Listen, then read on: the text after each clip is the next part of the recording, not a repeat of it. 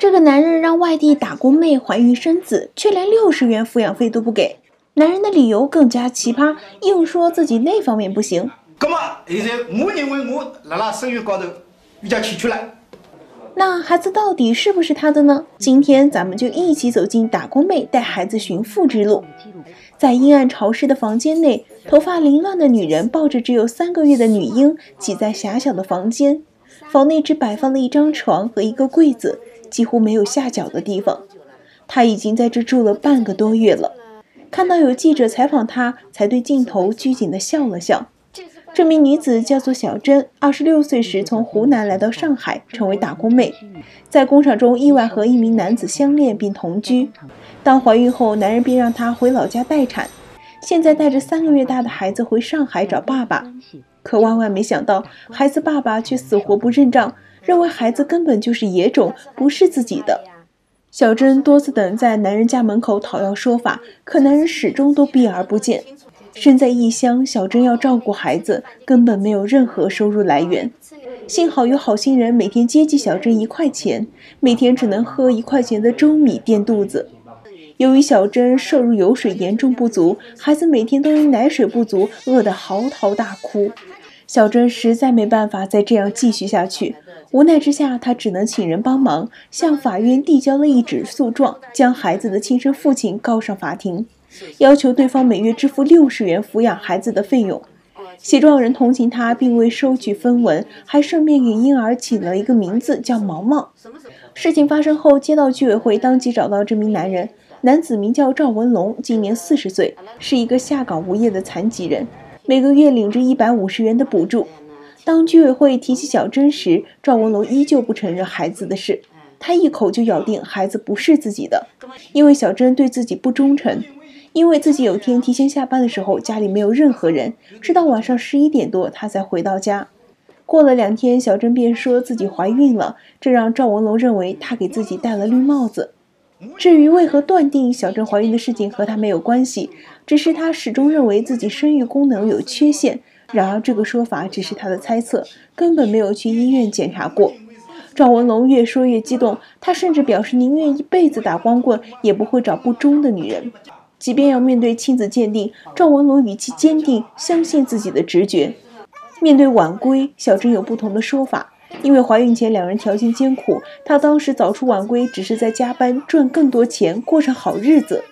每天那么辛苦，哪有时间会去外面鬼混呢？到了开庭的日子，两人各坐在长椅上，一端根本没有交谈。在法庭上，赵文龙依然不承认孩子是自己的，小珍只能拿出两人在怀孕时签订的协议。原来在怀孕时，赵文龙就觉得孩子不是自己的，于是便把小珍赶回了老家。两人定下协议，等孩子出生后，一同前去做亲子鉴定。如果孩子真的是赵文龙的，那么他必须全权负责；如果孩子不是他的，那么孩子就由小珍自行带回。等小珍来到上海找到他后，赵文龙却始终躲避问题。现在双方各执一词，看来只有做亲子鉴定才能揭开真相。得知还要继续等待，小珍一时间接受不了，因为每天一块钱的日子实在太难熬了。法官只好好言相劝，尽快安排亲子鉴定。等到亲子鉴定的日子，下起大雨，小珍总算露出久违的笑容。母女两人早早来到司法鉴定中心，可迟迟等不到赵文龙的身影。居委会再次找到他，赵文龙却说下雨天自己根本无法外出，法官只能重新安排时间。并在当天亲自开车接赵文龙过去。由于受到当时技术的影响，亲子鉴定必须抽血，毛发和口腔黏膜等根本无法替代。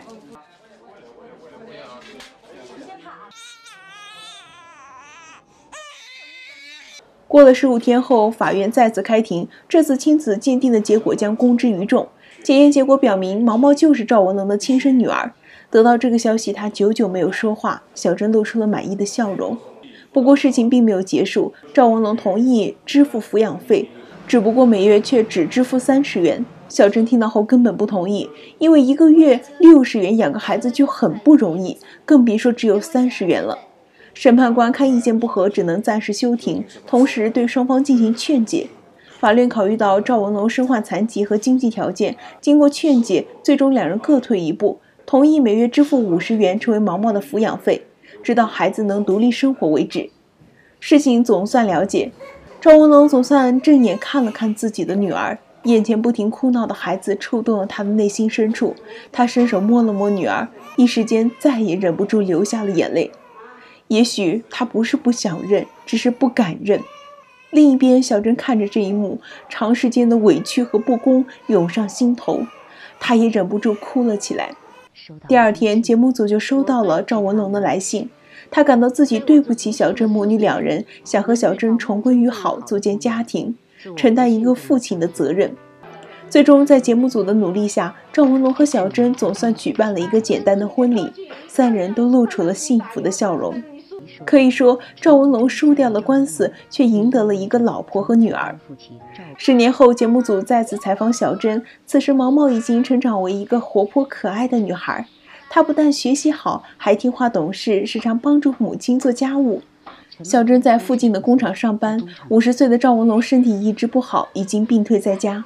他每个月都要去医院定期复查，日常生活都需要小珍的照顾。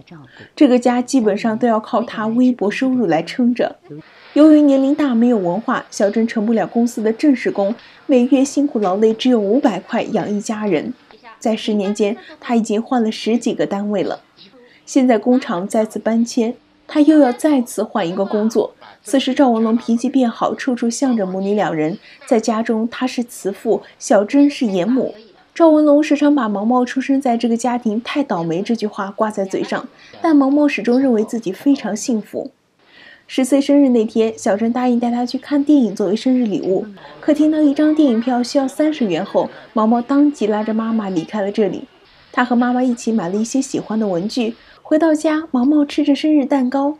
小珍回忆起以往的艰难，由于工作的原因，毛毛小时候经常没人照顾。谈到艰难的时候，小珍都会忍不住流泪。毛毛懂事地拍拍妈妈的后背，安慰她。可为了整个家庭，小珍必须要乐观地面对生活。时间又过去十年，节目组再次来到小珍的家，她现在在做老年人家政服务工作。虽说在上海生活了二十年，可她依旧不习惯这里的生活习惯。小珍想尽快退休回家养老。